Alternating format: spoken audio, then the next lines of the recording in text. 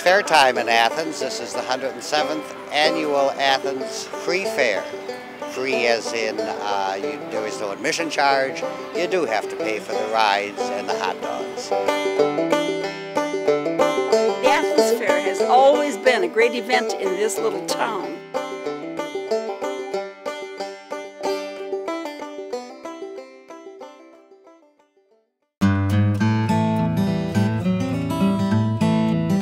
The Athens Fair has been going on uh, for 107 years. It was originally brought about as a way of advancing the growth and industry in Athens. It happened to be that my childhood and for the days I would be attending the fair was during the 1930s. I remember our parents on the Athens Fair, they always brought a bushel of peaches home.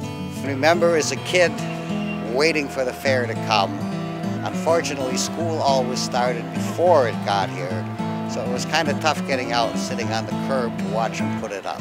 And there was so little cash flow that we children got very little chance to spend money at the fair, but we did get a little. All our relatives, we would congregate. And we would always, we wouldn't cook that weekend. We would always go to the stands and eat all weekend. That's what the fair is all about. And the fair was always a great attraction and it creates a wonderful community called Athens, Wisconsin, by the way.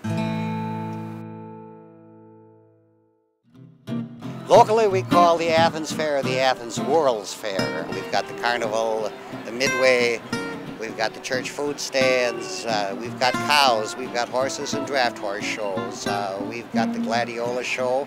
You can go into the community hall and you can see what people have sown and what people have canned and what people have baked just to come to the fair to see if they could win a ribbon.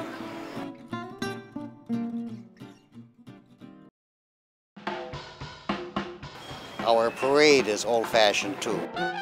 The parade is tremendous. Whew.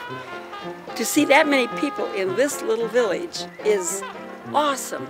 It is just awesome to come here. And God's been good to us almost every year. We have we haven't had to use the umbrella most of the years and it's beautiful out here today. We like our community here. It's a good one. Come and visit us.